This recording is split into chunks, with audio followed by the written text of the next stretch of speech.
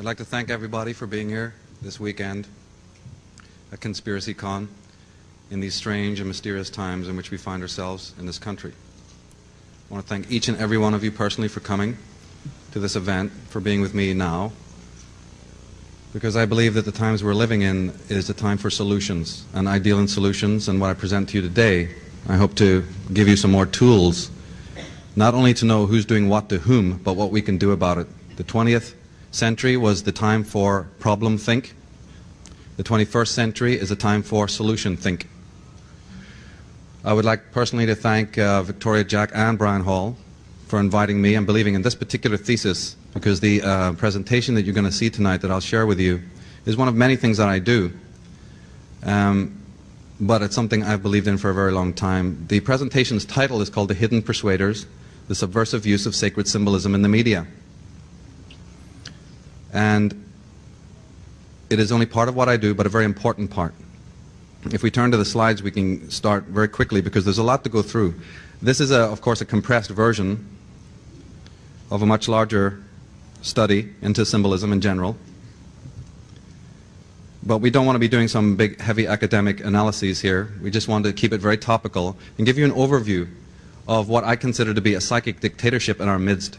I'm concerned about what it's doing to us all, but I'm specifically concerned with what it's doing to the young. And we'll address that as time goes by today.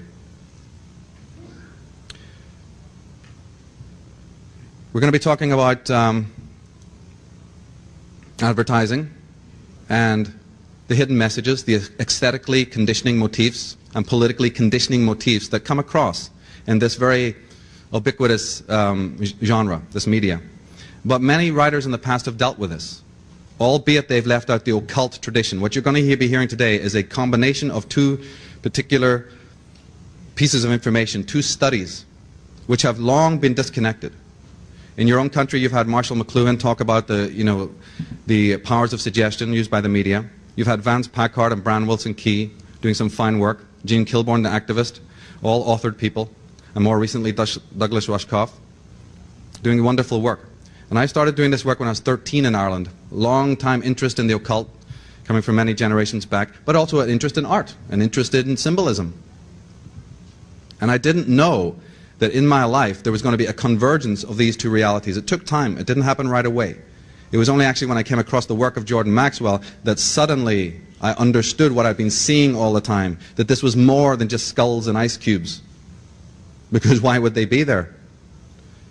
We have a connection between aesthetics, the portrayal in art, the portrayal in advertising, and an occult agenda. Very hard to accept for some, but we hope to prove the point tonight.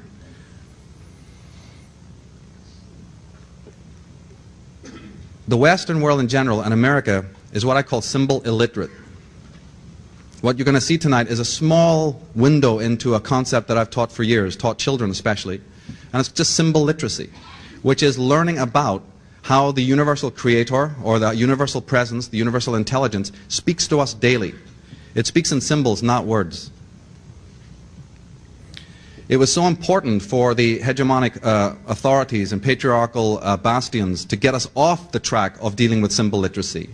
That even in the uh, Bible, at the creation of Christianity, before thou shalt not kill, before that edict in the, in the Decalogue, you have this particular commandment, which is thou shalt not make for yourself a graven image or a symbol. It was more important to them than thou shalt not kill. And we're going to find out why. It has to do with the brain and moving us into what's called a left brain type of thought, a left brain type of cognition, a left brain type of expression, away from the right brain holotropic concept, which was more common to our forefathers. But thou shalt make no graven images. What, what are the ancient world covered in? What is Egypt covered in? Is graven images of God, graven images of divinity. It was absolutely natural to our forefathers to do so to portray divinity, to uh, portray the mysteries of being in symbolism. It became a very different edict in the Bible where it says, Thou, you know, first came the Word. In the beginning was the Word. Well, I take exemption to that. I'm sorry. In, no, in the beginning does not come the Word of God. In the beginning comes the image of God. Or Goddess, if you want to be actually pedantic about it. But let's leave that aside for now. I work with the tarot and the divination, which uh, uh, is the archive of knowledge, the Gnostic core of the great book of symbolism. The greater book of symbolism, the tarot, these are the main chapters. Anyone who wants to get symbol literate, because Mircea Eliade, Joseph Campbell, Carl Jung have gone blue in the face asking us to get symbol literate, to become aware of how symbols are used, because they take the soul up. By being aware of how symbols work and art and imagination, we evolve spiritually. But that which can also help you evolve can also help you devolve, can also help you be enslaved. So the tarot and these great ancient um, Gnostic canon truths that were laid down by our forefathers were done mostly in symbols, the richness of symbolisms, and we teach this. In the occult tradition, it is essential that people become familiar with the role of symbolism and numbers and vibration and so on. One little aside, but connecting very much to what you've heard in other days here, is an interesting fact that what they call the Bible, let's say the Old Testament specifically, the five books of the Old Testament, the Pentateuch, are based on the Torah. They'll admit that. You ask anybody who's in the know, and they go, oh, yes, we, of course we can accept that the Pentateuch originated with the Hebrew Torah. But what these people will die before they will admit or tell you is that the Torah originates from the tarot. We haven't got time to explore this, but this is irrefutable if you do your homework and go to the reference works. In fact, it's the same word. The word is identical. But the difference is that the Bible and the Torah are communicated in words. Right? Words. The tarot communicates in symbols. And that's where the big problem is. Because you can argue till you're till the cows come home about a particular statement because now you have a language barrier and you have an interpretation barrier. Well, look, in symbolism, red is red. A sphinx is a sphinx. There's no argument about it. But when it comes to a written terminology, that's when the blood starts flowing. And that was the intention. In ancient medieval art, all the way down from the earliest times, we have um, symbols coming out of the occult world. We're finding them in the scriptures, finding them in religion. The crucifixion of Jesus, the crucifixion of St. Peter. The entire Bible can be decoded using aesthetic principles alone, or astrotheological motifs, cosmological motifs. The image on the right, for people who do not know, is one of the cards of the tarot, the hanged man. Well, didn't Jesus hang on a tree? Didn't Odin, in the Scandinavian myths, hang under a tree? Didn't Buddha get enlightened under a tree? Didn't Conan the Barbarian get crucified on a tree? I mean, we're seeing this motif all over the place. And science, which has always been doing catch up anyway to what the mystics have been saying for aeons, but finally they're doing catch up, and that's wonderful. They've just uh, found that, in fact, symbols are important because, as you see here, it says that there are 240,000 miles of neural threads in the human brain, enough to stretch from Earth to the moon. On every micrometer of these threads, there exists 250,000 units of information. But this data is recorded only as pictograms, only as composite images, and not as words. That's right. The universal intelligence, our phylogenetic race memory, of every experience that our forefathers have had is encoded in the brain, encoded in our DNA, in symbolism, in symbols, composite images. And today we find ourselves in a world replete with symbolism, images. We become deadened to it because it's so pervasive, in fact. We have the symbols of religion being denigrated by the corporate world powerful ancient symbols that we've associated with spiritual uplift are now being used for a different agenda. Jeremy Campbell, in his fine book, says one important property of language is that while its symbols may be used to bring about physical results in the real world of substance, they need not be used for that purpose. Symbols can be decoupled from physical reality to a greater or lesser extent. Words are not deeds, though they often lead to deeds. Symbols can be manipulated to form new statements and expressions which are only tentative, playful, figurative. Symbols are at liberty to be a little irresponsible and experimental. Now that's a very loaded comment there. In 1835, we have the historian de Tocqueville in his review of America and in review of the genres that were going on of his time wrote these words. He said, I fear that the productions of the democratic poets may often be surcharged with immense and incoherent imagery, with exaggerated descriptions and strange creations, and that the fantastic beings of their brain may sometimes make us re- regret the world of reality. In 1835. You think that's old? Plato was doing the same thing in 300 BC when he warned about the artists, quote unquote, this has been misinterpreted by many scholars, but he just said that the artists, quote unquote, if they're given too much dominion over the mind, there will be a decline of civilization. I believe that he was aware even then of people who are still with us, still operating in our society today. Don't believe it? This is a quote. It says, I think we are destroying the minds of America, and that has been one of my lifelong ambitions. You can read for yourself who wrote that. They're happy to tell you what they're doing. Well, here's the results of their fine uh, work. Heroin and cocaine use among white youth climbed about 300% over the two decades before the 90s. For American, African American youth, it jumped to a staggering 13 times the rate of 20 years before. The frequency of eating disorders in teenage girls has skyrocketed. You're going to find out why. While any of these problems in isolation raises no eyebrows, taken as a group, they are barometers of a sea change, a new kind of toxicity seeping into and poisoning the very experience of childhood, signifying sweeping deficits in emotional competences. But the other side, they say, oh, kids love advertising. It's a gift. It's something they want. There's something to be said about being in there first, about branding children and owning them in that way. And in boys advertising antisocial behavior in pursuit of a product, that's a good thing. In 1990, compared to the previous two decades, the United States saw the highest juvenile arrest rate for violent crimes ever. Teen arrests for forcible rape had doubled, teen murder rates quadrupled, mostly due to an increase in shootings. During the same two decades, the, that should be, suicide rate for teenagers tripled, as did the number of children under 14 who are murder victims. Douglas Rushkoff, in his book Media Virus, says children's television and MTV are, in fact, are the easiest places to launch countercultural missiles. The more harmless or inane the forum, the more unsuspecting the audience. I highlighted MTV there for an interesting point. One of the methodologies that these individuals use in their corporate logos is based on the phoneme system. If you say the word as a mantra to yourself, MTV, and say it quickly MTV, MTV, empty TV, empty TV, empty TV, empty, empty TV. Ever seen any kids that watch MTV? They look pretty empty to me, wouldn't you say? Well, that's what they were being told. The great philosopher and theologian Erasmus said, The main hope of a nation lies in the proper education of its youth. The others are saying to the children, Forget it. Questions are a burden, and answers a prison for oneself. Let us take control. Stop thinking. It's too much of a bother. We'll take care of you.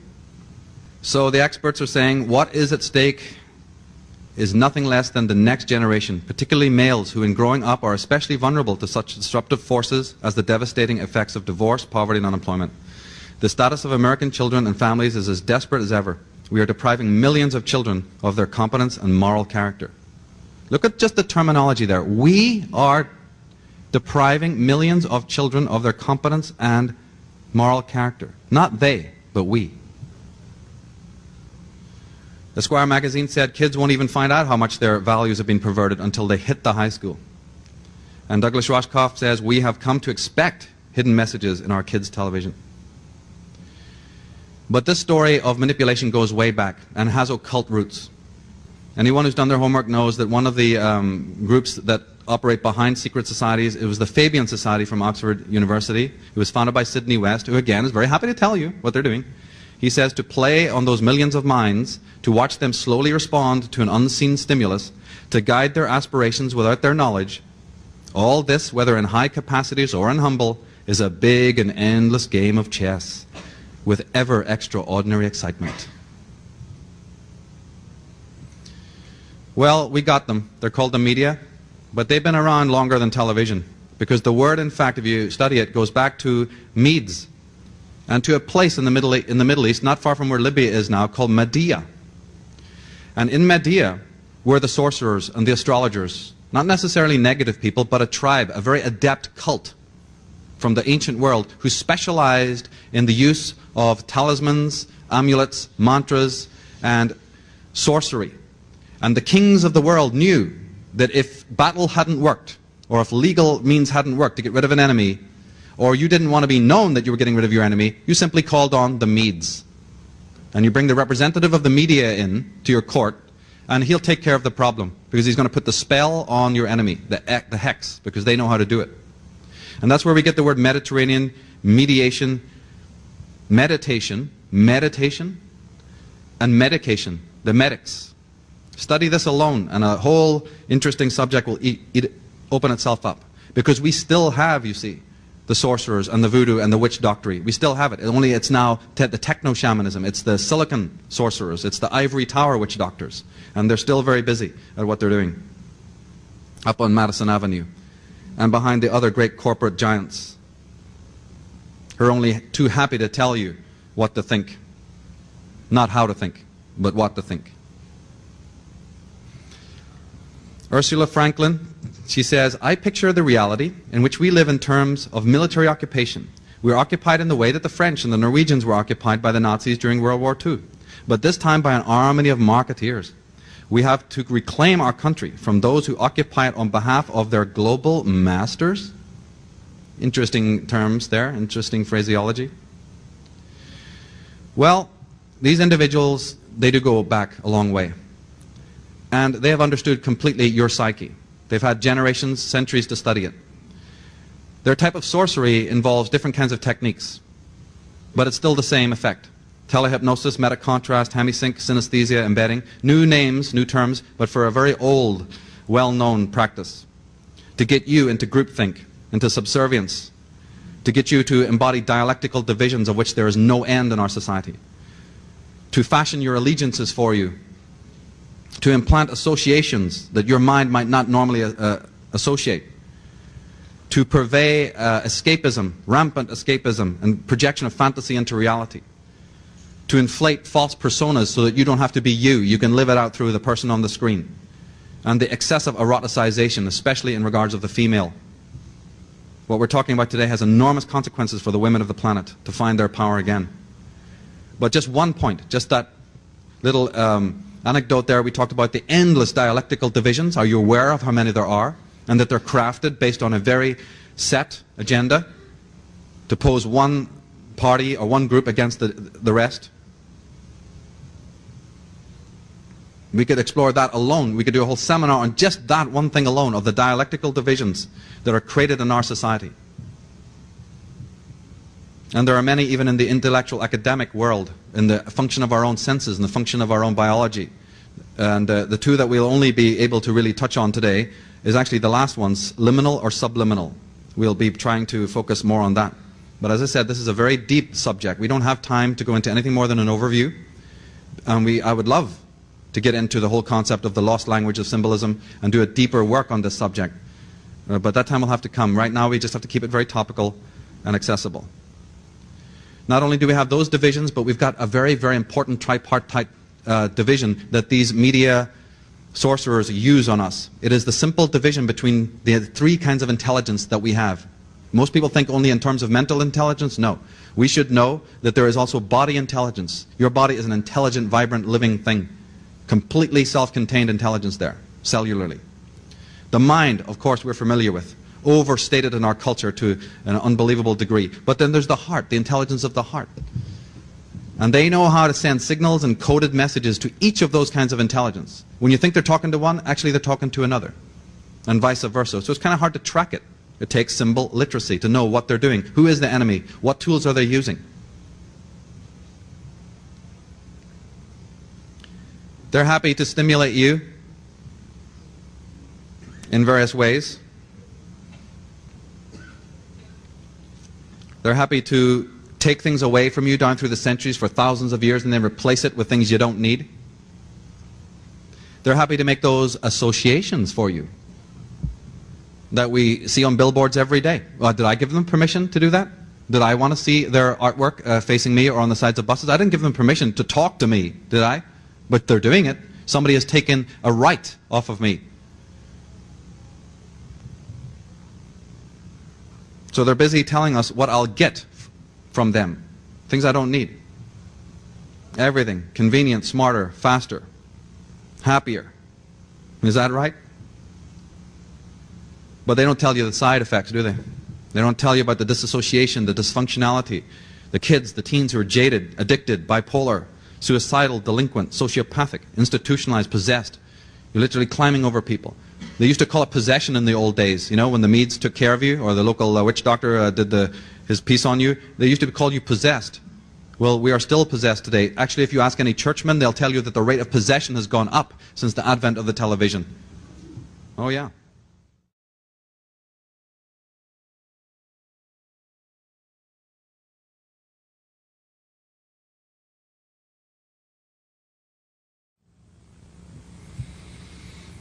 The whole theme of this um, talk is about how we are going to get symbol literacy so we can graduate and evolve spiritually. Because, as Nietzsche clearly pointed out, we have the misfortune or the fortune, who knows which, of being the only creature who must constantly overcome himself in order to live fully. So there is a drag factor. There's individuals who absolutely are bent double, working overtime to make sure that we do not evolve and that our children regress, that civilizations are in retrograde. What would happen if a pharaoh came back today?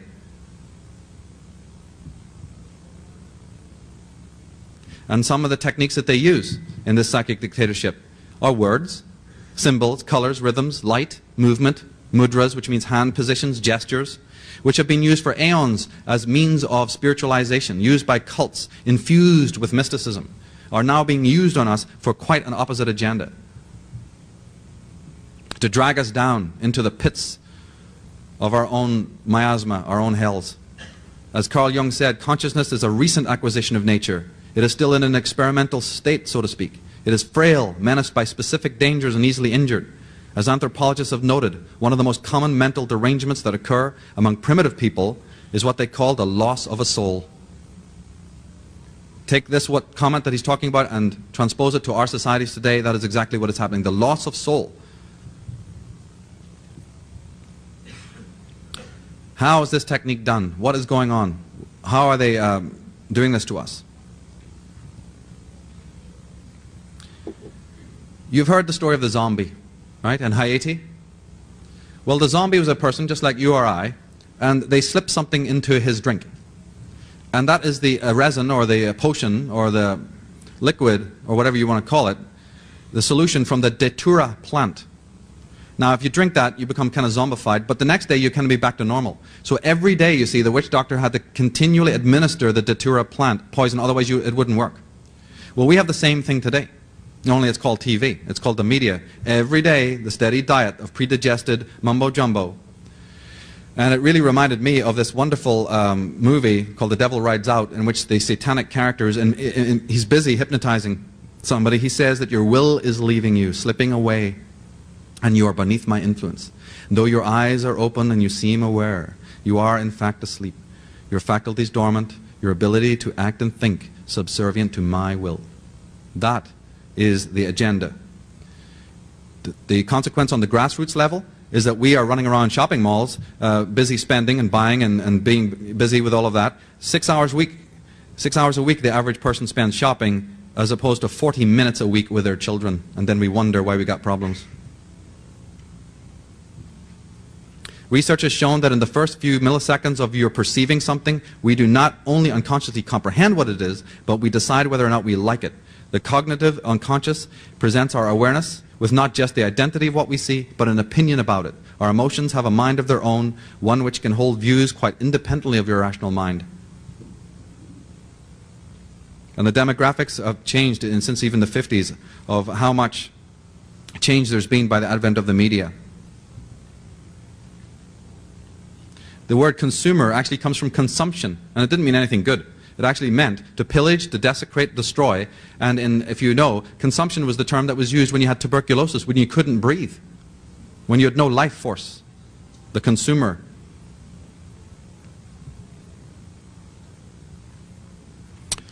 Well, before we get to how they're doing it, we got to say who is doing it. So a little recap on the fact of other things that you've heard here is that there is an occult history of America. And these are the individuals who have always used symbolism coming out of the ancient world, as Jordan and others have shown. The man on the left is Adam Weishaupt, who was the head of the Illuminati, whose um, origin date was uh, May 1st, 1776, quite close to July 4th, 1776, the founding of America. His mantle passed to Giuseppe Mazzini, who then, when he passed away, the mantle of the Illuminati passed to the man on the right, who's called Albert Pike. Everyone in this room should be familiar with who this man is and what he is about, because he brought what is called Scottish Rite Freemasonry system to this country. Scottish Rite Freemasonry.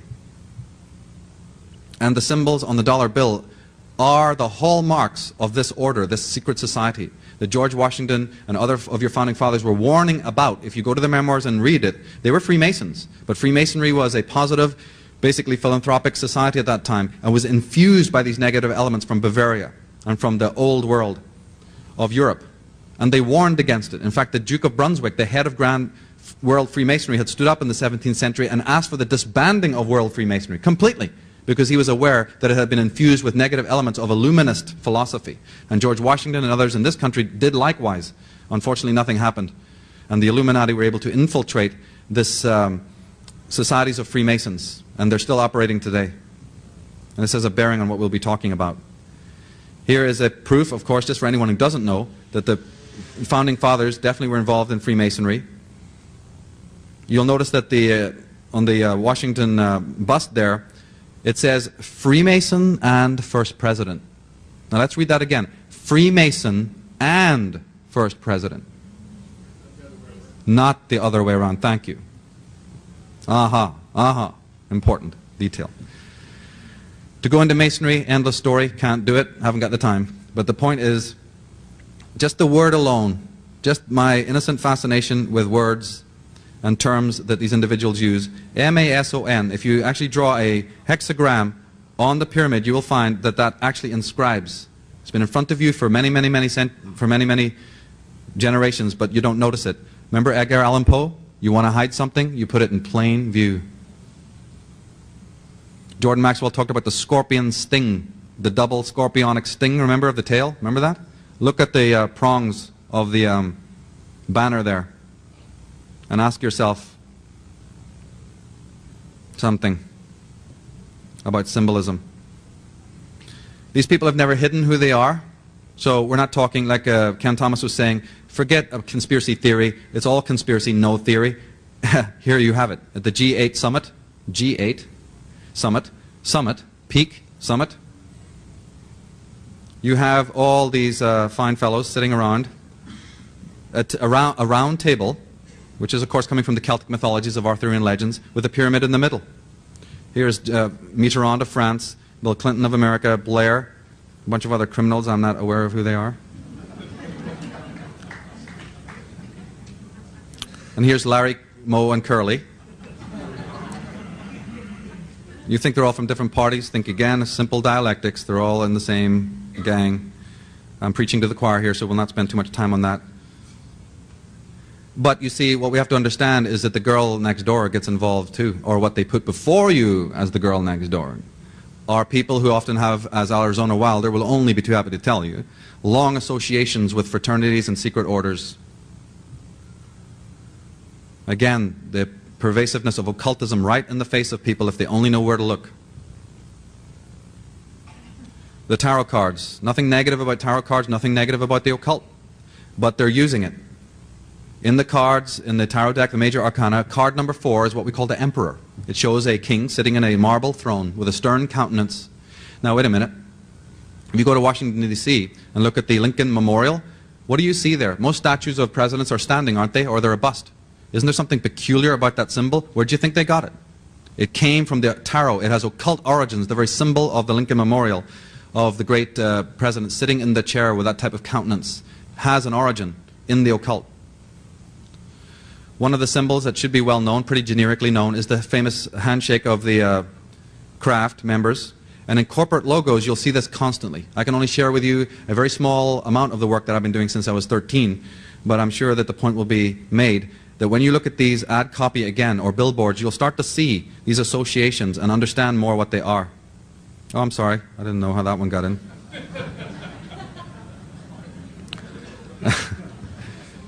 anyway, um, the Masons refer to their own uh, procedures their own um, teachings as the craft. If you get into studying the, um, Jordan Maxwell has labored for years to discover the occult roots of government, big business, you know, and religion.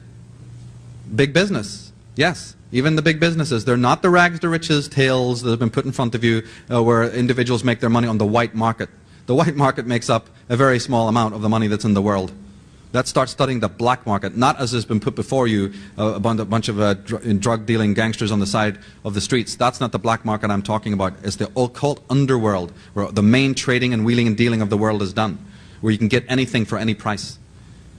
Well, when we look into that, we'll find that there is again, occult origins, and behind these big businesses, the franchises, the corporations, hopefully we can prove a little bit today that there is an occult origin. You've seen the pyramid, and a pyramid basically has three sides. Because the number three is very important in Freemasonry. Very important. In fact, if we look at it, we find that the number three is sacred, and it is the, the reason why it has been incorporated into so many areas of religious and secular life. We have the economic world with its first, second, and third worlds. Uh, we didn't create that, but yet there's the terms. We have the main political parties. We have social classes calling us upper, middle, and lower. Well, I didn't think of myself as anything like that, but here we are. We have these terms made for us by social critics, soci sociologists. We have the competence levels in sports. We've got the levels of matriculation. We've got the branches of government, the legislator, the armed forces even, and the courts. Three divisions, always three it's a very important number to look out for. In your Senate, there's three tiers high. The emphasis on the number three. The word threshold. The Masons talk about the entrance to all temples, cathedrals, and churches being called a threshold. That means thrice hold. One of their gods is called the thrice great, Hermes. It's an old story. It goes back to the Druids and ancient civilizations where they also divided their priestarchies into three distinct groups. That's why on the flags of the world you'll find the tripartite, the tricolor. So many flags of the world have the tri part, telling you who owns them, who's running. And again, in our modern ambiance, you find symbols of societies and orders using the double triangle, the 33, and the symbol of the uh, serpent, which if anyone's familiar with my work on Atlantis, the serpent comes in very strongly there. Okay, the double triangle of the 33rd. Again, they're not even hiding things here. ABC Towers, by the way, in uh, Los Angeles is two triangles, two large triangles. And symbols in America. Let's take it to the context now, coming more to the particular in your own country. The symbol of the eagle has been explored, and how the eagle then turns up on lots of corporate logos. It actually has to do with the fact that the eagle is the old symbol for Scorpio. Long before Scorpio got a scorpion as its symbol, it was the symbol was the eagle, Aquila it's called. And if you look at an old planisphere, you'll see it. It's a gigantic constellation in the sign of Scorpio. And that is why the Romans used the symbol of the eagle. That is why the Vatican used it. That is why the Nazis ended up using it, and that's why it's in America. Because the same gang are running the show, and they use the same symbols. It has uh, not got to do with the fact that it's the bald eagle, the indigenous symbol of whatever. No. It has to do with the fact of the sign of Scorpio, which any competent astrologer will tell you rules power and money. The sign of Scorpio. Uh, again, a, a, very elaborate study in itself. We don't have time to go into it. We're looking for corporate logos. We're looking for geometry. You don't have to look very far. And the connection to the occult. The pentagon, and that shape is suggestive of many things, actually it was designed by a high priest in the Ordo Templi Orientis. That's a secret society from Germany and who was a very close friend of uh, L. Ron Hubbard. There's a big connection between John Whiteside Parsons, who was an advisor to the military, who was also involved in a very high-level secret society called the OTO.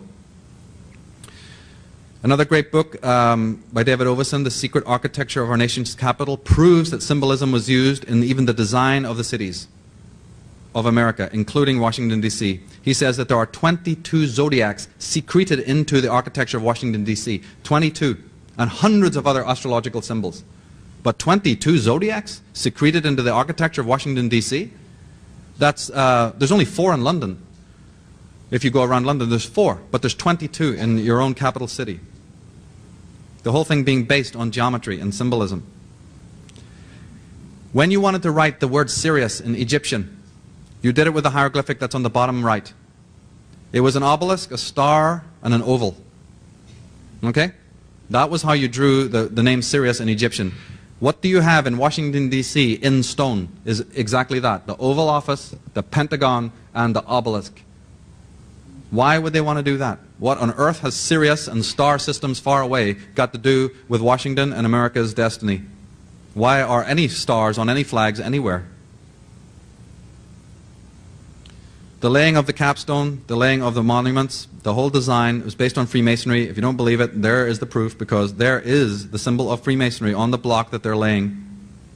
Okay? Right there is a symbol that is known in Freemasonry.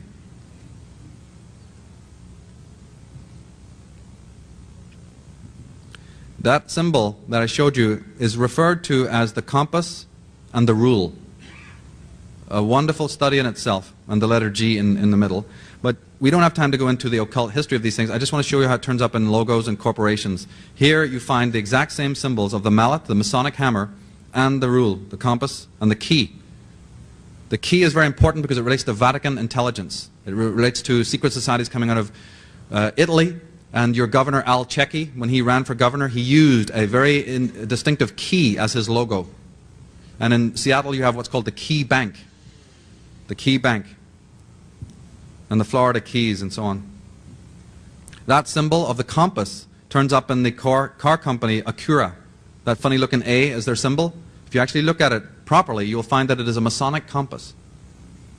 I've always said in the writings that I've done on this subject that over 70% of the things that you buy, the products that you buy, have names that don't mean anything in English. Don't believe me? Go to your Safeway, go to any of these stores, and just observe that one day. Of how many symbols and products don't have a name that means anything in English. Now, you'd think that the merchant would want to sell his wares as quickly as he could, right? But we're not talking about the merchant here. We're talking about the designers that he goes to in order to get a logo or get a, you know, a design made. We're talking about those individuals and not necessarily the merchants. So I'm not talking about this coming from the merchant world. They don't know anything. They just want to sell or, you know, open a motel and whatever else they want to do. This does not originate from them. But Acura, what does that word mean? We also find that in Freemasonry you have the color blue that is very important because the first opening degrees of Freemasonry are called the blue and red degrees. That's why you have red light districts and blue movies. Oh yeah, let's find out what's been going on here. But you also have this strange uh, fixation with the color blue turning up a lot. And you find it heavily in the corporate world. You find it in government, but you also find it in corporate world. Just that alone, just take one little piece. Just look at color. Open your aesthetic eyes and look at how color is being used in our society. Because color is very important to spiritual uplift and how color and vibration are used. You find it in the context of America, the dollar bill, or money. This symbol, by the way, is um, well known, of course, but it actually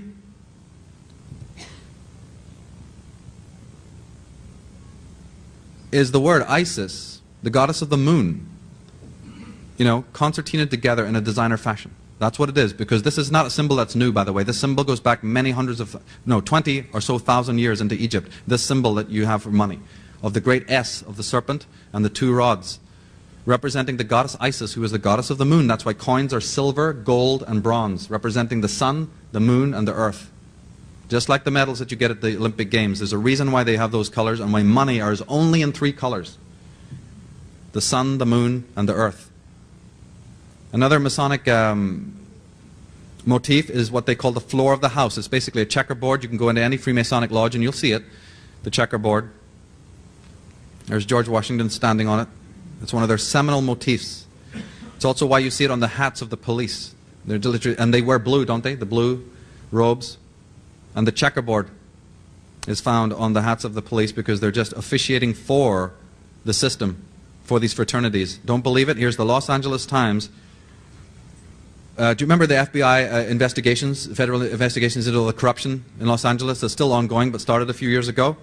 Let's just observe this little article that I found. Uh, I think it was Jordan, you picked this up. Um, Two sergeants are among those to be charged in alleged planting of a gun to frame a suspect, sources say. More charges are possible. These three uh, policemen had, you know, interned themselves in a house and were not giving themselves up. But let's look what ha- is said here. According to one source, district attorney officials do not plan to give the three an opportunity to surrender themselves to authorities today. No, so no leniency for the three cops who are, who are the bad guys. They're going to be arrested, the source said.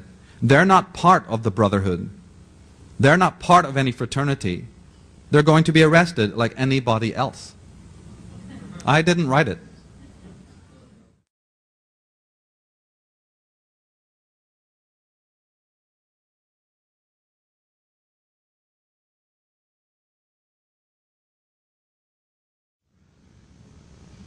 Checkerboards, rock groups, strange imagery.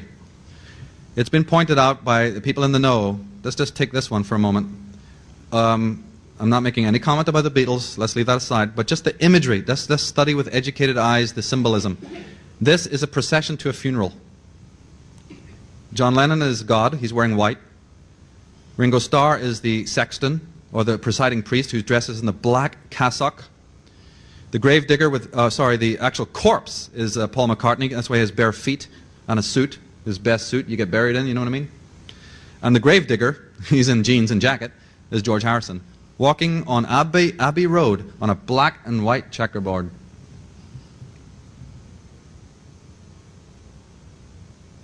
Checkerboards, Chevrolet, corporations using the checkerboard. Would that sell you on anything? Why would they choose that logo? So there we have it. They are the chess masters, as Sidney Webb uh, pointed out, and that's how they consider us. They consider, as he is saying, that it's just a game. It's just a game. So we need to know the rules, don't we, if we want to play the game with them? The double cross that you see here, you see the knight wearing the cross of Lorraine, what's called the cross of Lorraine, on the checkerboard. And you see that Exxon are also using that double cross, and many other corporations use it. I've had to edit this a lot, so you'll see this double cross a lot. It's uh, from the province in France called Lorraine, um, and it's also called the Knights of Malta Cross. You might be interested to know that uh, Martin Luther King, who was shot in Memphis, was killed in what they called the Lorraine Motel. They leave tracks, for those who know. The double cross. But one of the all-time most pervasive symbols is, uh, of Freemasonry and, and the Templars is the cross and the crown. They like it because it signifies the means of operation, their modus operandi of how they've gained their power, through the two forces of religion and monarchy. State, you see, and religion. The cross and the crown, or crown and gown, as we call it over in England. Two forms of, of slavery. Here on California State in Hayward, their, um, their um, magazine here, you'll find it replete with double crosses and pyramids and Masonic symbols, a globe and so on. Here is the Knights of Malta cross of the Knights of Columbus being used, and you'll find that is an ancient symbol going back to uh, Samaria here. You see that?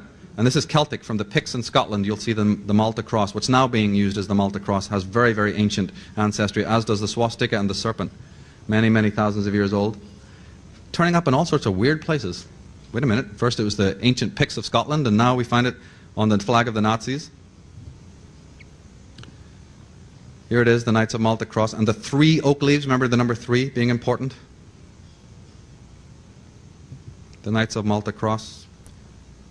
There we find it on the uh, crown of the Queen of England.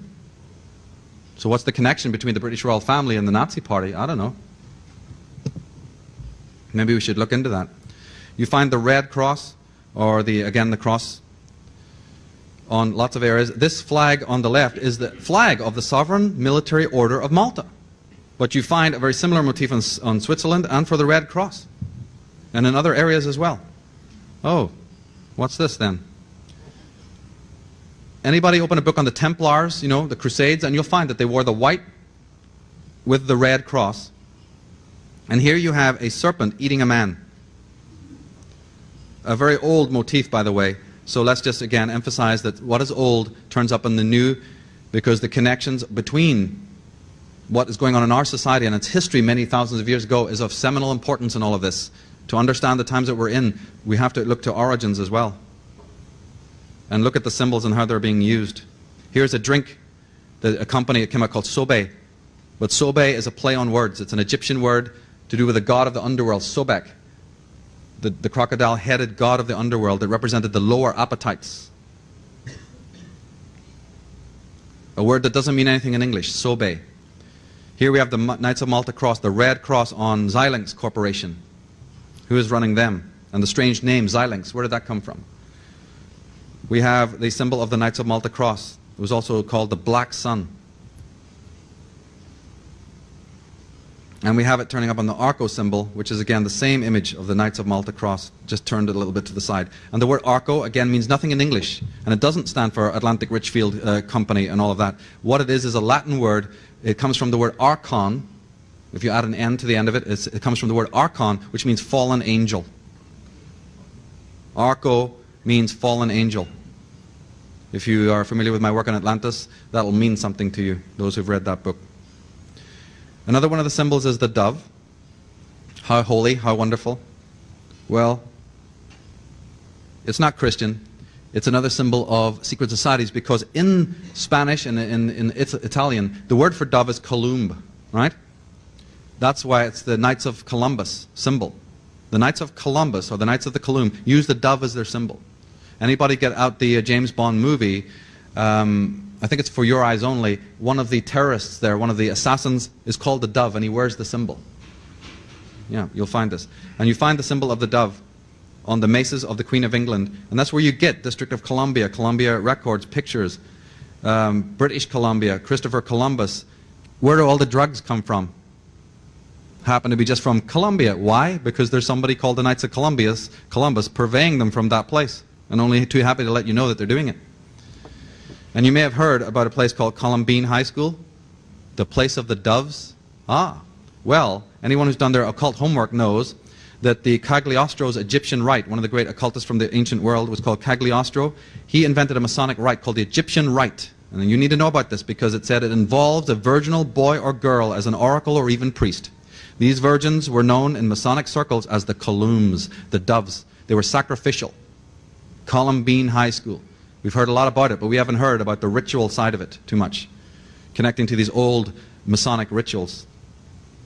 The owl is a symbol of the Bohemian society, but it goes way back to the cult of Minerva and Lilith, the goddess Lilith. And the owl is on the dollar bill. Hidden away in the right corner of the, of the dollar bill is the symbol of the owl, because it goes back again to ancient secret societies.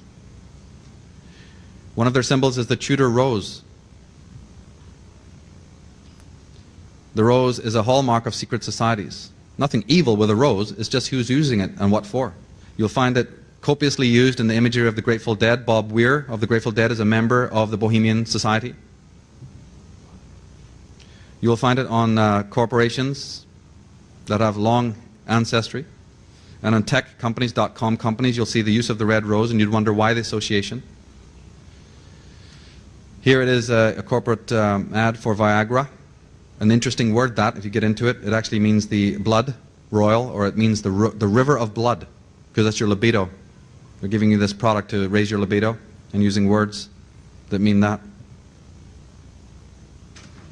We have all of the different cosmetic companies here around the symbol of a, a flower. See that? These are all the famous companies indicating to you that they come from one source. The number 322 is important in occult circles because it's the lodge number of the Skull and Bones Society from Yale University. Uh, why they use it is uh, there's many interpretations depending on who you are. Since these people are so involved in symbolism of astrology, not the astrology that's put before us today commonly, but a different kind of astrology, this relates to actually the spring equinox, okay, which is 321, May, March 21st and 22nd, when the sun, which is their great symbol, rises on the eastern horizon on March 22nd. That's one of the reasons why they use that. And the skull comes because these are individuals were originally part of the pirates, what are known as the pirates, or the men of fire, who were sent out by the agents of the British royal family to colonize America.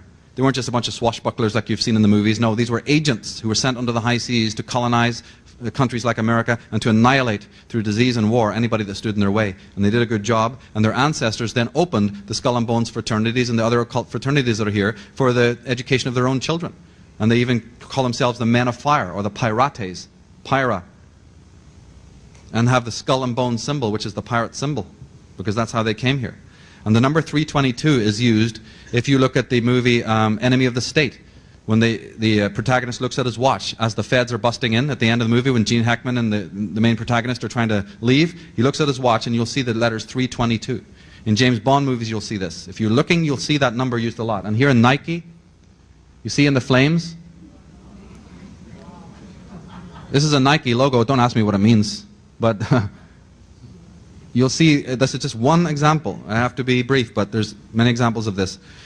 All of these pirate families these pirate families became fabulously wealthy because from day one they were purveying opium, they were purveying alcohol, and they were purveying uh, other things, slavery. They were involved in slavery when they colonized America and these other countries. And some of them, these families went on to become fabulously wealthy and are still known today. But as I said, they're not the rags to riches companies. Seagrams and all of these groups have a long ancestry in Bushmills. And one of them is the Bacardi group, right? Well, they are descended from these types that I'm telling you about. Here is their headquarters in Porto, in Portugal, those flames are 10 feet high. And in the middle of there is the logo of the vampire bat with blood dripping down from it. So I don't know what it tells you about a corporate uh, headquarters that has flames and 10 foot high with a blood uh, soaked vampire bat for the logo. But you can guess what their consciousness is like and the stream of dead bodies that they've left behind with their poison that they've been disseminating for generations. And here in the corporate logos, again, suggestion. They're telling you, they're suggesting to you that these companies that are famous come from the pirates. They do it in a designer way so you don't catch it. But if you know what is going on here and the symbols that are being used, they'll be too happy to tell you about the sun and who they are and the pyramid and the fact that they ha- where they have got their money and what they've been into and who they've been denigrating. One of the ancient symbols of uh, these societies is the claw. I bring this up because uh, you see a lot of motifs that look like corporate logos. You know, these are pretty much, you see these generically on banks, right? Look again. Do you see how that is a claw of a tiger or a bear? Because that's what it is. Uh, there's ancient societies called the African Order of the Tiger, of which Federal, your FDR, Roosevelt, was a member of an order called the Ancient Order, the African Order of the Tiger. And their symbol was the claw marks. And you'll often see a claw like that surrounding the earth because these secret societies believe that that's what they're doing, that they are, in fact, uh, gripping the earth, owning the earth. 666, everybody's into it. Can't spend too much time on it, but there's a lot of symbolism in the, in the whole concept of the 666, the three sixes being used in corporate design. Here's the old company gateway before they changed it to a black and white cube. They used to use the three intertwined sixes and talk about gateways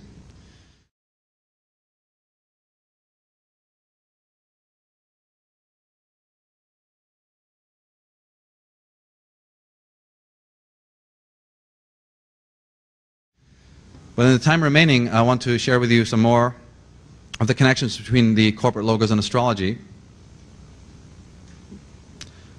And Friedrich Nietzsche summed it up. He said, As long as you still experience the stars as something above your head, you will lack the eye of knowledge and never know wisdom. And was he right? Because stars are everywhere, they're on everything. The zodiac is one of the archives that the designers and the media giants go to. Their designers know to go to the realm of Sabianism and talismans and, and magic and to astrology to look for, and to alchemy. They look to the esoteric in order to have, um, to be in business. Although this is a carefully guarded secret. And talking about the zodiac, the Bible says that God said, Let there be lights in the firmament of the heavens to divide the day from the night, and let them be for signs and for seasons, for days and for years. Let them be for signs. The signs of the zodiac have an ancient history. The zodiac is where we get a lot of these symbols because the 12 signs that you're familiar with, the 12 generic signs of the zodiac, there are actually 88 constellations altogether around the ecliptic. 88 symbols. You don't know about those, but the advertising people do. They research them. They're not going to use the ones that you're familiar with because then we'd catch on, wouldn't we? So they use the other ones or they'll tweak or change things around. I'm going to give you some examples of how they do that. But cities, as I said, were based on zodiacs. Here's Paris, divided into the 12 divisions, coming to the central arch with a phallic symbol in the middle. From the heavens, you have the constellations. They're not physically up there, it's just observation. But from there came the great symbols of the lion, for instance, and the crab uh, from the night sky. The first theater of mankind was the night sky, which he could draw the pictures of his mind. And lots of these logos, lots of these symbols that we recognize as astrological symbols, nothing negative in them, but then they turn up in the corporate world, as we'll see in a minute. Stars on flags, all over the place. One of them, if you're into this, by the way, if you have a plan to go on and do any of your own marketing in any field, it's very important to know what they do because what they do, you can also do. You can take your power back and use the same motifs, but use it for uh, positive reasons, proactive reasons. Know, just very basically, that in astrology, there are four signs fire, water, air, and earth. But the corporate people mostly use the fire signs and the earth signs because fire has to do with energy and libido and will to power, and earth signs have to do with money, materialism, and ownership and assets. So just even using astrology as a what you call a hermeneutic of, of understanding how corporate logos are used is very important. And then you can start using it based on your own chart, for instance, or the message that you're trying to get across. Using the four elements is a very handy way of doing it because it involves colors and different other kinds of techniques that you can use. Here's a good example of how stars play a role. This is considered the bear, which is the generic uh, grizzly of America, of California. No, it's not where the symbol comes from because the red star in the corner gives it away. The bear that they're talking about here is Ursa Major, the bear, up there.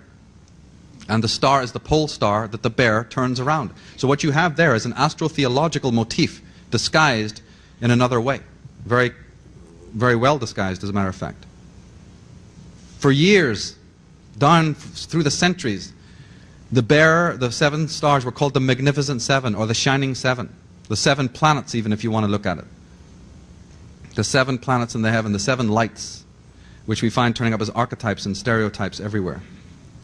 Just observing how much the simple symbol of the sky is used in corporate logos as a backdrop is very important.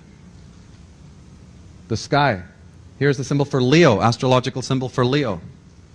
This is the astrological symbol for Virgo. The sun moving into the constellation of the Virgin. Virgo is where you get the Columbia Pictures symbol from.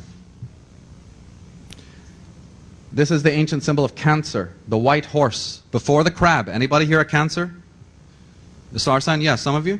Right. Well, before you were given the symbol of the crab, your ancient symbol was the white horse or the unicorn. That's why you see on royal heraldry that symbol. So the white horse is the symbol of Cancer, and so when you see the sun behind the horse of TriStar, it just represents the sun in Cancer. It's an astrological motif. And the Virgin is Virgo with the 12 stars in her hair, or the crown of 12 stars, the zodiac.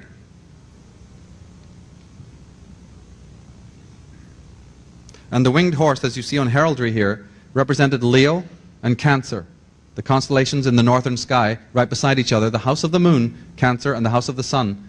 This is again based on astrology, and the winged horse being connected with Cancer. In Merrill Lynch, you have the symbol of the bull, which obviously is very clear, relates to Taurus, which is an earth sign. You see how earth signs, Taurus, represents money, ownership, um, finances. So you have a financial company here using an astrological symbol because they know what it means. Sagittarius. Anybody here a Sagittarius? Star sign Sagittarius, yeah. Your symbol is used as the horseman, right? With the, the bow and arrow. Here you find it. Look at the solar symbol on the bottle. is already made like the sun. Because Sagittarius is a fire sign. Anyone who's a Sagittarius knows that they're a fire sign. Here's the lady with a bow. One of the, the latest Cadillac advertisements, literally on television, showed a, a, person firing an arrow down a street, and then came the car. Using the bow and arrow motif, you'll see it a lot. It relates to the sign of Sagittarius. What I'm talking about is not the normal astrology. They're using different kinds of associations. The corporation Safeway relates to the sign of Cancer also, because anyone who knows astrology knows that the sign of Cancer has to do with safety, security in the home, and food, mother, and nurturement. So the safe way, right? And the yin yang of uh, the cancer. And it also has to do with property. So the Cashin Company, which is a uh, real estate brokerage, use the symbol for Cancer because in Cancer astrology, Cancer rules the home and property and physical assets.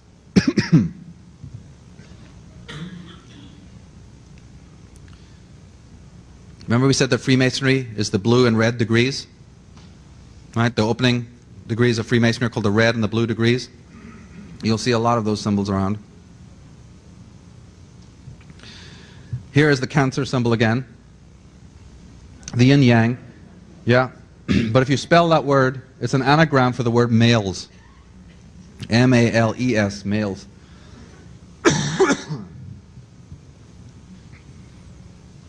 You couldn't have astrology without four cardinal points or four stars in the sky through which it becomes all possible.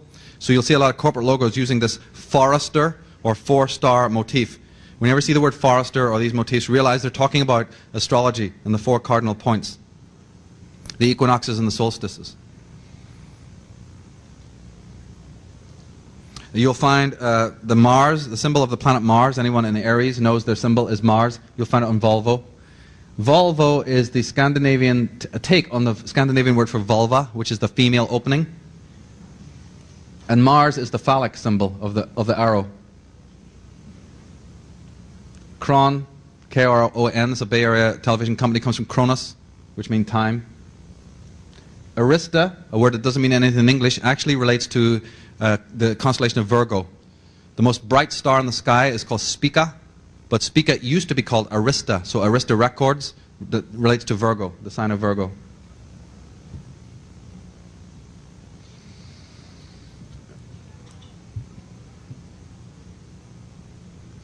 One of the most important motifs in astrology is again the spring equinox, the rising of the sun at the vernal equinox of the spring every year. You're going to find so many logos that deal with that. The sign of Aries is the sign in which the sun, you know, rises on the spring equinox. That's in the sign of Aries. So you're going to find the motif of the sun rays, or the Mazda symbol is the horns of Aries, the horns of the ram. Here is the sun. The Nissan symbol is red, a red sun crossing a border or a barrier, half above, half below, right? A horizon line. And by the way, you know what the word Nissan means? It means the first month of the year. In Hebrew, Nisan means our first month of the year in their language. So this is the sun rising above the horizon. Morning star is pretty obvious. Your most famous corporation franchise in America is nothing but the horns of Aries if you look at it. And that's why it's on a red background. The rising of the sun in the morning on the eastern horizon is exactly those colors, is it not? Right? Blazing yellow on the red sunlit background. That is an astrological motif relating to Aries, and if you know what Aries symbolizes, it represents power and aggression and dominance and will to power and libido and aggression and energy. Very powerful to use Aryan symbols in corporate logos because it works.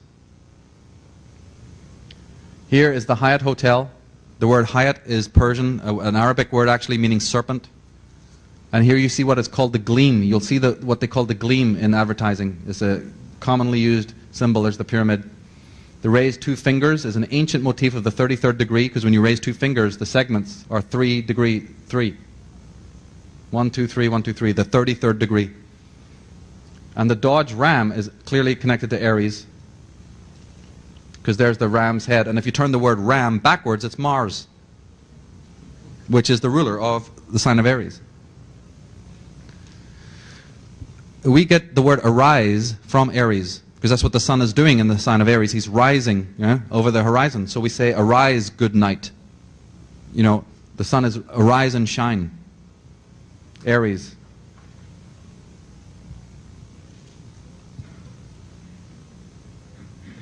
The sun is one of the most pervasive of all symbols in this particular thesis. You'll see the symbol of the sun all over the place. You know what Mazda means? Mazda is not Hebrew. Mazda is Persian for the first month of the year. Nisan in Hebrew means April, the, um, March and April. Well, Mazda means exactly the same thing. It is the first month of the year when the sun rises on the spring equinox. And you'll see constant motifs of this the sun rising, corporate logos that represent the sun. Jordan Maxwell was saying yesterday that the very word on means light. And you'll always see this word highlighted, just like it is here. So many logos use the word on or on, highly lit in some way or defined, and the symbol of the sun and the pyramid.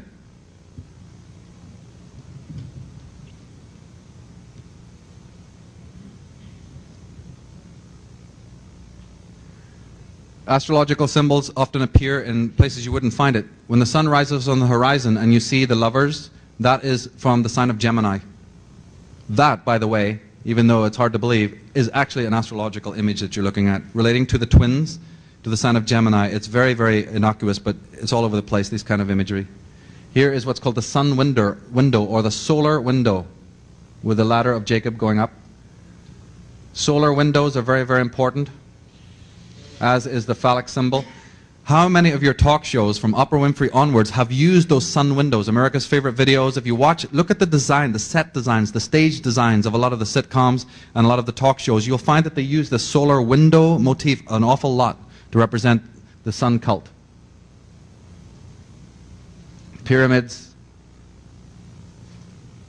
the background of the night sky, that represents a house of the zodiac.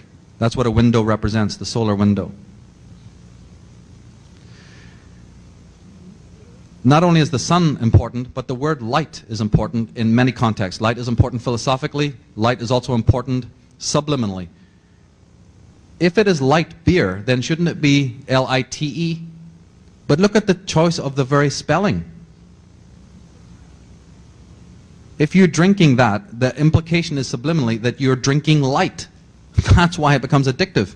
Because your unconscious mind would love to drink light. That's what we're all about, remember? Spiritual uplift. Well, they're going to hand it to you in this. That which takes you down, but it has on it, drink it, it's full of light. And what's the symbolism in the advertisements when the, the models are drinking? You'll see images of light and halos and all sorts of things to spiritualize things. Mountains are connected with spiritual ascent. So is light. But look who's using it and for what purpose. The human wreckage and debris of these poisons that have been uh, put into our, our life. Yes. Corona Cronus. And many, many other symbols relating to, red, to Aries. Sears is an anagram for the word Aries. In the sure advertisements, the sun will, uh, in the advertisements, in the graphics, you'll see a beam of light come across. It'll move across the word. It'll suddenly glow on the R and move aside. Right? If you ever watch their logos, they're interesting. Redken means the red king, which relates to the sign of Aries.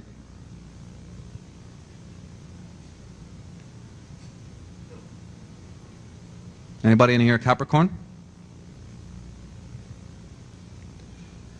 One obvious uh, thing that I really have studied a long time is what they call positioning. It's another aspect of this. In our societies, they actually design the franchises to look like churches. Some of them, if you go into Taco Bell, if you go into Kentucky Fried, they have the turret.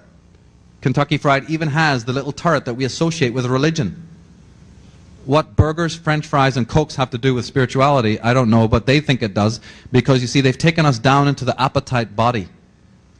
So, some of these banks even are designed that way. When you walk into some of these places, notice that they even have a portico. Some of them even have stained glass windows on the franchises. Next time you go, just take a look at some of these places, the Ben Franks, the Ringer Huts, and look at their design. That some of them are like Shinto temples, others are like Western temples. The seven up. We just talked about what the seven up are. What are the seven up? Are the seven lights in the sky. They're up there, seven up. Or the chakras. Play on words. Union 76 is, of course, Union 1776 when America was founded. But in 1776, May, uh, sorry, July 4th is in the sign of Cancer. So America is born under the sign of Cancer. That big golden ball that you see floating above uh, the um, stations, what is it? What is the big ball that rotates in the sky that's all orange and gold? Is the sun, right? So they're already telling you there that this is the sun in Cancer in Union 76. But Masonry, people into Masonry are very smart. They use a lot of codes and cryptic analogs. If you take the number 76 and put it on a clock face and know what you're doing, you'll find something interesting. 7 o'clock is actually 660, is it not? Right? Just think about it for a moment. Follow me. 659, 660. Plus the 6, and you have 666. I'm not stretching it, this is the way they work. Words that don't mean anything in English. The word Pepe or Pepsa or Pepsi is a very, very old word. You've heard of uh, the devil, you've heard of Satan, right? Well, the oldest cultures in the world is the Egyptian. And if you go back about 25,000 years, the word that they have for the adversary, the word that they use for Satan is Pepsi. And they used to tell the children, if you don't watch out, Peppa will get you. Yeah, Apep or Pepsa will come and get you. The Egyptians. Yeah. Yeah, we'll come to Coca-Cola in a minute. It's so vulgar, I have to leave it to the end. we were thinking of putting some barf bags under the chairs. I don't know if you got them. But you got to find out who Sergeant Pepper really is and who Dr. Pepper really is. The symbol of Saturn, the Saturnalian cult that uh, Jordan Maxwell has exposed, also the symbols of, of Saturn. The Nike swoosh is the corner of the gleam of the planet Saturn because these people belong to ancient cults. And the, the concept of black that is used in Nike is important. Lots of symbols doubling up there as Saturnian symbols. I told you that they use mostly fire signs and earth signs, and that is true. But sometimes they will use the air signs when it works for them. And one of the most commonly used air signs is the sign of Aquarius. Anybody here in Aquarius? Well, they sometimes use your sign. And here is one that has been done very cleverly. Always when you see the circle, your eye only focuses on what's in the circle, and that's what they want to intend. In your mind, take away the circle and extend the lines, and you get what's called the wave, wavy line that is familiar with those who are Aquarians. And Aquarius is ruled by the planet Uranus, which represents freedom, you know, um, gender and liberty, and the youth movement. Well, isn't that what Volkswagen's whole sales pitch was in the first place? Viacom, if you look at their actual corporate logo, it arrives like a lightning flash. If you actually look at it on television, you'll see that the Viacom is like a wave of electricity. It is the sign of Aquarius that they're using, the media.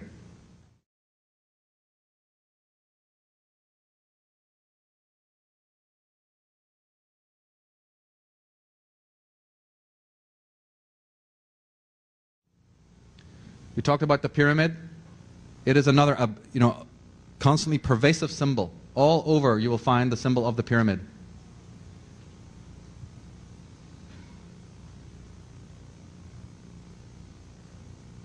There's so many of them. One could just do a whole lecture on just the symbol of the pyramid, the red and blue degrees there again.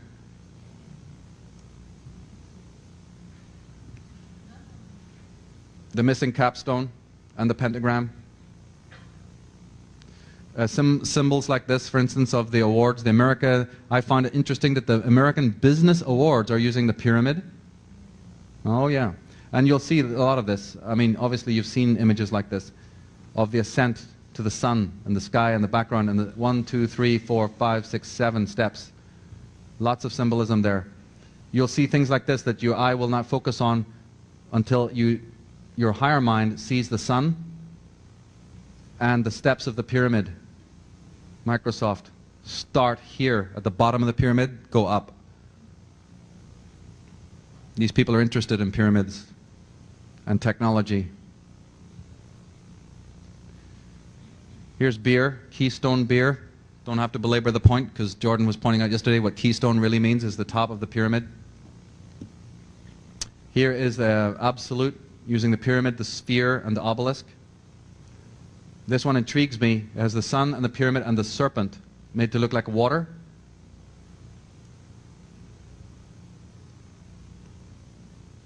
Right? Beer.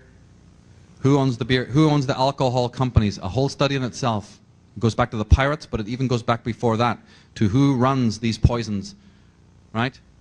The tax exempt Knights of Malta and the Knights Templar, who were tax exempt, were the ones who opened the inns and the taverns and the bars. It's a whole interesting story, and why those bars and taverns in England are called strange occult names like the Green Dragon and the horse and you know uh, the uh, the white horse or the black horse and the rose and the crown. Ever wondered about those strange names, the plough and the stars, and why they're called arms? Anybody gone into England, you'll know that taverns are called arms, implying that it was a military order that opened them to poison the people of the world that go down there at five o'clock and sit there till twelve o'clock uh, complaining about the government and drinking their brains out, nothing gets done. That was the intention. the dissemination of poisons in our society sugar, tobacco, alcohol, you, you name it, vaccinations, fluoride is a study in itself. Possibly. Very interesting that. Yeah, we want to maybe look into that. Terminology, I love it. Words, that's how we have to start thinking. Symbol literacy. Look with the eyes of children again, the right brain. Don't let a thing slip by. In one of the great stories by Conan Doyle of Sherlock Holmes, when Sherlock Holmes was trying to talk about his technique to Dr. Watson, who couldn't get it, he said, I'll sum it up this way. He said, When you come to Baker Street to visit me, you come up the stairs every day. How many stairs are there, Watson? He goes, uh, I don't know. He goes, Ah, you see, but you do not observe. That's all it's about. In the Bible it says, having eyes ye see not, having ears ye hear not. It's time to start watching them. Madonna, the Illuminati pyramid on her back. Camel, the Illuminati pyramids. And the man, see this? See the leg? You see how that's a human being? There's his face looking out this way. There's his chest and his arm. There's a human being there. Yeah. You have to, we, we could spend some time, but unfortunately we don't have it. We'll get a packet and look at it. And by the way, anybody here familiar with sacred geometry? The idea of the phi ratio and the golden section? Cigarette boxes are actually designed based on the golden rectangle. So just holding them has a therapeutic effect. Not in a good way, but in a negative way. That's one of the selling pitches they do. Not only there's opium in the tobacco and all of that. Yes, there's lots of things to create addiction, but these people are very adroit. Even the ratio of how the lid to the rest of the box and how it's opened and the, the you know the arousal that comes with that. Uh, but you can use the same techniques for your own healing. These are for your degradation. Go and measure your beds at home. If you have children, discover whether their beds are based on the phi ratio or not. Because these companies that make the, the beds for you and the, and, and the children's cots make sure that they're not based on sacred ratios, so you have restless sleep. And so you can't, you have nightmares. Chuck them out the window and do it right. Make your own beds, make them based on sacred geometry, and watch what happens to your life patterns and your sleep patterns, just from that one thing alone. Courtney Pine, Illuminati symbolism. Who runs KinderCare? Big question. Better find out. Look at their symbol. Oh, yeah. Wonder why children go missing? I wonder about it. Swedish bank using the uh, eye on the pyramid. One of the most powerful ancient symbols of Freemasonry, one of their specific, most sacred symbols to them, right? The one they don't want to tell you about a lot is what's called the double uh, ashlar, or the double cube. It's a well-known symbol to Freemasons. If you, in your mind's eye, look at this chevron symbol, word that doesn't mean anything in English, you'll find that that is a cube. You see that in three dimensions? Is one cube sitting on another? And it's red and blue, like the red and blue degrees. Here it is again. The two cubes. The two cubes. The cube. Look out for this the triple or the, the, the double cube. These chevrons, don't you find them also in the military as the chevrons? You ever wonder why those stripes were there? Corporal, uh, sorry, private, corporal, sergeant? No, first degree, second degree, or third degree Freemason. That's all it means. Anybody who served in those forces knows you can't get very far unless you want to start shaking some hands, right? The double cube and the world. What does that symbol mean otherwise? I mean, what, what is it? It's a cu double cube on its side.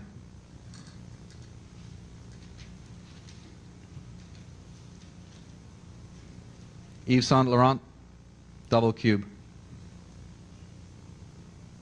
Dodge Chrysler, double cube. Another one of the symbols that they uh, care about deeply, and you should know about, is what's called the red square. Why do we say we get caught up in red tape? Why do they cut the red tape, you know? Or um, the red carpet. Look how many corporate logos use the red square just alone. And how many flags. Do you remember um, when uh, I think it was Reagan actually met Gorbachev for the first time, the first so-called meeting between East and West, the Perestroika? The cameras didn't start rolling until the two of these people walked out into what was called Red Square in Moscow. And then when they were in the center of Red Square, then they turned and shook hands for the cameras. Interesting that, I thought. Right? It's in the center of Red Square. The center of the coronation of Queen of England is on a red carpet. Vatican Center, Chair of St. Peter sits on a red carpet.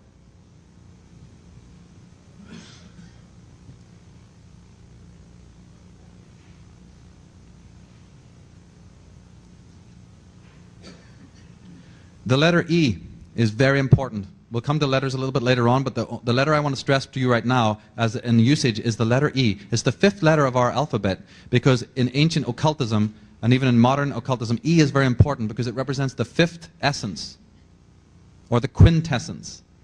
It was called epsilon. In Greek, the letter E is called epsilon and it represents a spiritual power of transcendence, the number five. So you will always find something in a corporate logo that will tweak the E for a reason. See that? It'll always be highlighted in some way, or separated in some way, or dropped in some way. Here you see the serpent of Intel? The serpent with the eye? Enron, yeah, good. I think I have one on Enron. Yeah, there you go. Right? It's either turned on, it'll be, it'll be highlighted or, you know, stylized in some way. Pyramids. The number five. So many groups use the five and the symbol of the sun. It's a big thing even in the techie world because these telecom silicon uh, types imagine that they're doing some occult work. The connection between the occult and the Silicon Valley is something I go into a lot in other talks.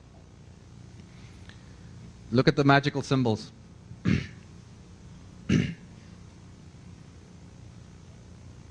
Opening doors into the intelligence, the technological world. The portal of the door is very important in Freemasonry. They talk about the porch.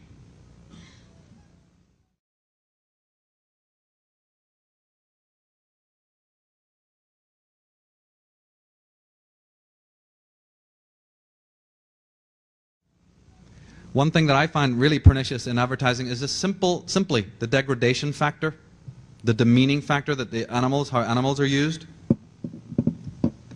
and how children are being portrayed. Not as children, of course. And how women are being portrayed. Here you have um, a symbol where the word coke, somebody was asking about the coke, it's an Egyptian word, and it relates to the male genitalia.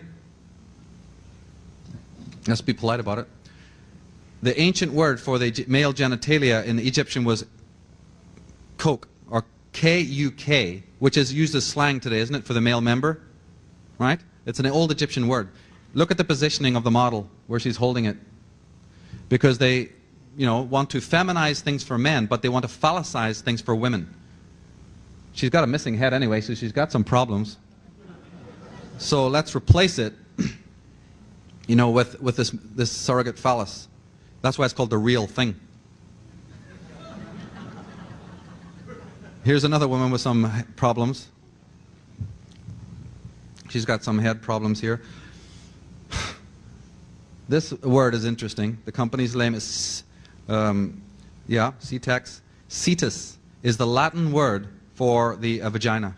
CTS often just in very innocuous shots like this, you'll find something weird about the posture, the limpness, the, the, the you know, the submissive, um, the simulating, uh, flaccid look of the female is used a lot, which in itself is pernicious. The fact that uh, there's something skewed about the imagery. Or they'll use the vamp. You know, a lot of this we know already, I'm just going over it. The idea of the tramp, the vamp. This is Salem.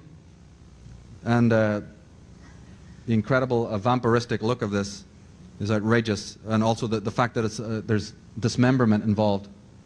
And then we wonder why there's serial killers running the streets who are only too happy to tell you in court, ah, I hear voices, I'm possessed, I can't help it, something's talking to me.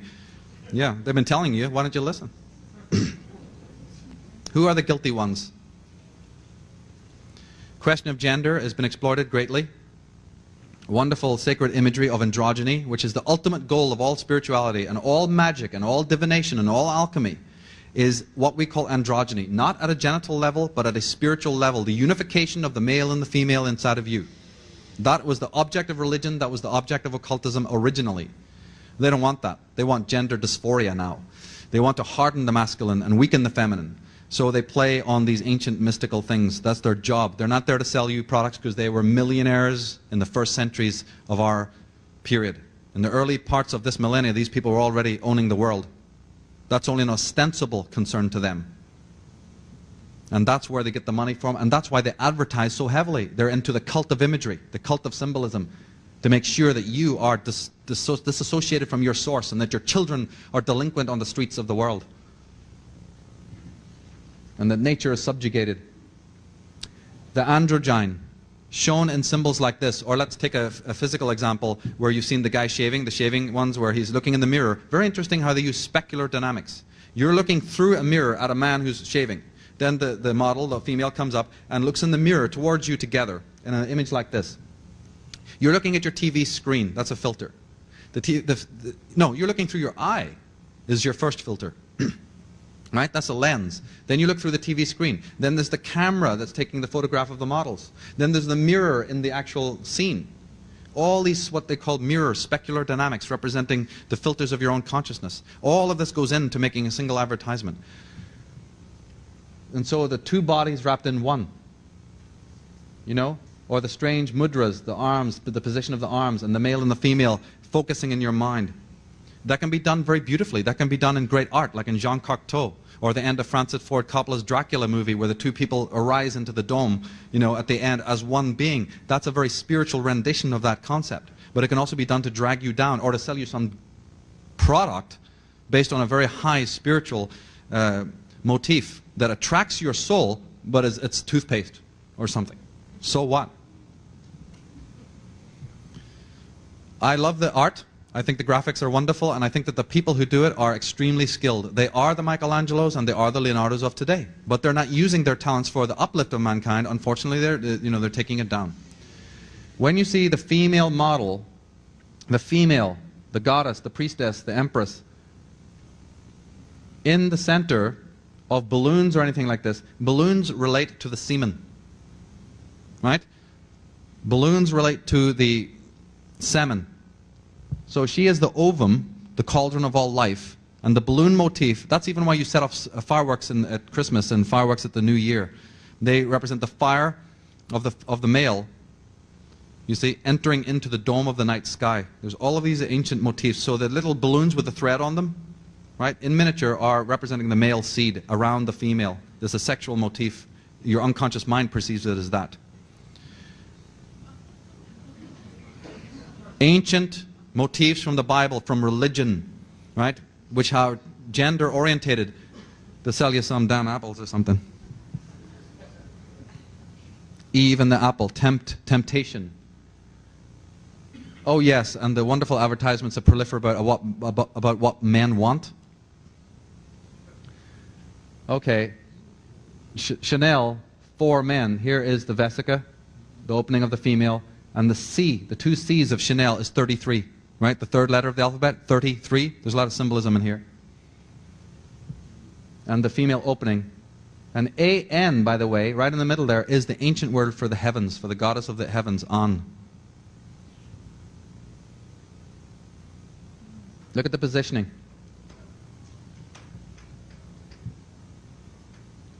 Look at the positioning. That is very attractive to your unconscious mind, even her hands position.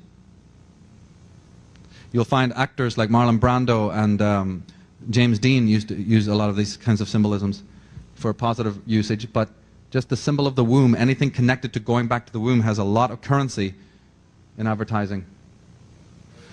Yes, perfectly, good example. Um, Fila, let's look at this one and another twist on it they use a lot of uh, words putting backwards. If you, the word fila doesn't mean anything in English, that should get your hackles up. As soon as you see something that doesn't mean something in English, please understand that it does mean something in one of the ancient languages of the ancient world. Latin, Greek, Hebrew, you know, which didn't use vowels, or one of the magical languages.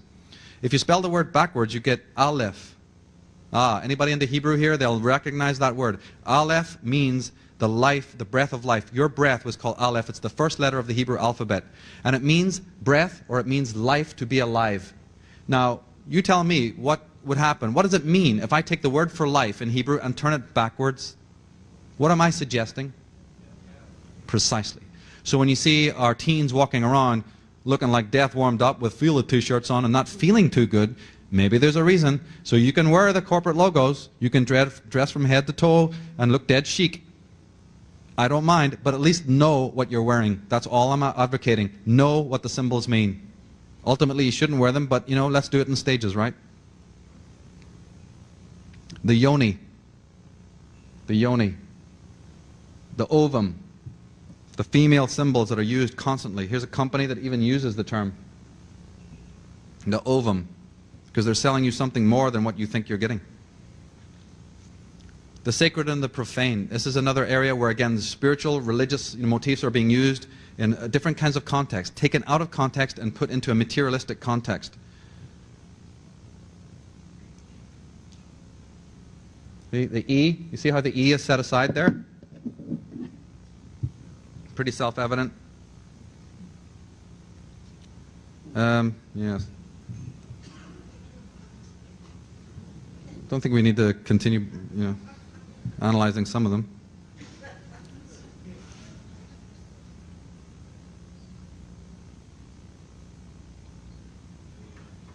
That word is naive. It's the anagram of the word naive because they want to associate water with purity and innocence.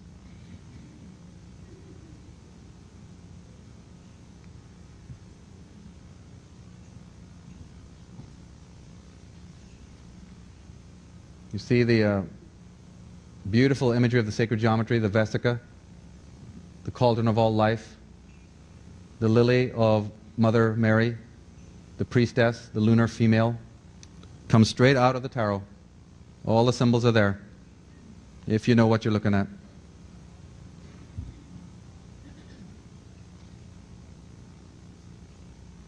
Some of the poses are meant to be erotic, but they're also um, sort of necromantic. And they're always ready to promise you things you don't have. Here's the sacred symbols of the three and the cancer. You see the cancer, the Lemniscate, the dove, and the Volkswagen saying, We give you peace, associations, peace of mind. You don't have it. You don't have it. But if you get their car, you'll, you'll have it, right? Slavery to time, associations of the water, very, very occult motifs. We're looking at paintings in the same way that the Renaissance artists used it but for a very different context, different meaning.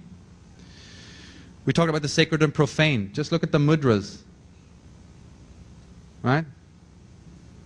That these designers come up with in order to spiritualize things. Because if you can spiritualize something, then your unconscious mind reads it as positive. You want it. And of course you want it. You want that light. You want that evolution. You want to go to God. Why not? So they know that. So they get in the way. Now, I don't need to be a Christian, but what is the definition of the adversary? What is the definition of Satanism, if not that? The impediment that gets between you and your God, you and your enlightenment, you and your spiritual development. Well, here it is. They're taking the very motifs that we have associated from our racial record that deal with our spiritual uplift, that our forefathers used to worship, that are encoded with thousands of years of our worship and our ardor and our spiritual associations, and now they're using it for selling bars of soap and perfume and everything else. That is why it's so serious, and that's why this needs to be gone into and understood for what it is. Androgyny, spirituality, Egyptian symbols, headless women.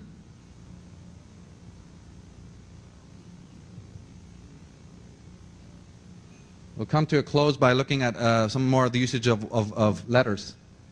The of all the 26 letters, advertisers know that the most important letter is S because of its association with sex and success and serpents and the sound. It's the most subliminal, subliminal, and hypnotic of all the letters. And you put S into anything, and your mind pays attention to it when it's on a product.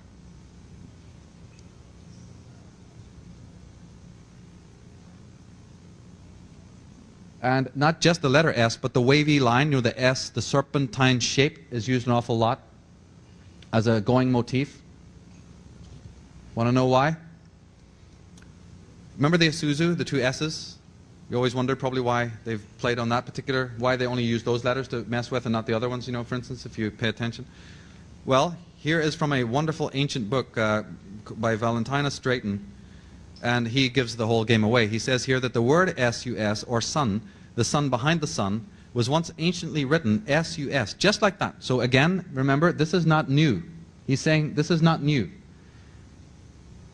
It is a symbol of the serpent force or supersolar manifestation, meaning it's a solar symbol. The SUS denotes involution and evolution, the descent of the serpent force into matter and the return upward through evolution. The serpent solar disk is often seen on Egyptian monuments like that, SOS. Letters of the ancient alphabet were keys unlocking the originating causation and manifestation of all things. The SS or ZZ, same thing, symbolically used, which is what we're talking about, are interchangeable. Often the SS on sigils and talismans, and now we're talking about corporate logos, are suggestive of serpentine, evil influence and denotes a sign of black magic upon others. 19th century authors. Before corporations even were existed, before advertising was ever done. Now you find the same motifs turning up in our data space, in our living space. The letter X is another one of the great letters of power because it's the X and Y chromosome. When they want to sell something to a male, they'll feminize it. When they want to sell something to a woman, they have to masculinize it. So X marks the spot is how you feminize something for males. So you have the phallic bottle in the middle of the X, the chromosome of the female. The ovum and the X. The O is obvious because it's the female ovum, and the X is the X chromosome. And just to highlight it, there she is.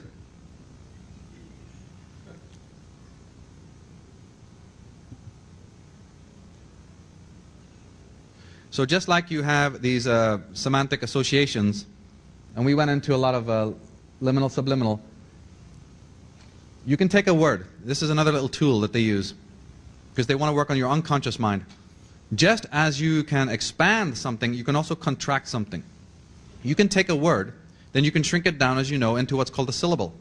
But when you have a syllable, it's kind of usual. You can often tell what the word is if you, if you see the syllable.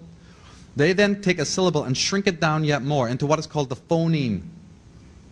It's a linguistic term, the phoneme. A phoneme, you cannot recognize anymore what it is. So it's a word shrunk down three, three times. And these are the phonemes that you then find on cars and different kinds of products all over the place. They mean things. XL, LX for light, it's Latin for lux. XI is for she, that's pronounced she in Greek and it means woman. XS is obviously XS. L is the ancient name of God. This is the male phallic. This is the word for night. Right? This is the symbol of royalty, status, when you get into the concept of the phonemes, you'll find that there's a lot of interesting things there. you think I'm stretching it? They're happy to tell you what they're doing. Because here you have the car that's called the status, the Cadillac or whatever. It came to uncode the status, and its phoneme is STS. Just like I'm saying, they use the phonemes to represent the concept that we're talking about. Two minutes? One. Okay. And then just to uh, finish off, we have to close now. PC, just that term PC, we talk about cetus representing the female opening, the phallic, I mean the ovum, and P is phallus. And that's where you get the word cities from. The cities were meant to be the symbols of the female in which we all live, which is why they have the monuments and the obelisks inside of them, which represent the, the male. So the word city actually comes from the word for the vagina or the opening of the female. So anyway, let me see. Yep. The male, this is the phoneme for the male member. I just want to end with my own personal reasons for um, being into this particular thesis so that we're all on the same page as to why this is important. NBC aired an investigation of Mattel and Disney just days before Christmas 1996. With the help of hidden cameras, the reporters showed that children in Indonesia and China were working in virtual slavery so that children in America can put frilly dresses on America's favorite dolls. In February 1999, a new report revealed that workers sewing Disney clothes in several Chinese factories were earning as little as 13.5 cents an hour and were being forced to, to put in hours of overtime. ABC's 2020 brought back footage of young women locked inside sweatshop factories sewing for Gap, for Tommy Hilfiger, and Polo Ralph Lauren. Naomi Klein says that all 50,000 workers at the Yue Yuen factory in China would have to work for 19 years to earn what Nike spends on advertising in one year. Walmart's annual sales are worth 120 times more than Haiti's entire annual budget. Disney's CEO Michael Eisner earns 9,873 an hour, while the Haitian worker earns 28 cents an hour. It would take a Haitian worker 16 years to earn his hourly income. And the last one is it was Disney's annual meeting and about 10,000 shareholders, she says, crowded into the arena to rake Michael Eisner over the coals. They were upset that he had paid more than 100 million in a severance package to uh, the super agent Michael Ovitz, who lasted only 14 scandal-racked months at Disney as second in command. Eisner was further attacked for his own 400 million multi-year pay package, as well for stacking the board with friends and paid Disney consultants, and then for paying starvation wages to workers in overseas factories. We could go on, it sounds horrible, it is horrible, and it's taking place. These things that we buy into, that we don't vote with our dollars, that we do not take responsibility for what we're buying, and we are under this kind of oligarchical control, is enslaving the world. It is enslaving the planet, it is enslaving children, and it is not worth it. That is a particular reason why I am interested in this thesis. I want to thank you all for being here with us and for putting up with my tirade. You know? Lovely to see you all.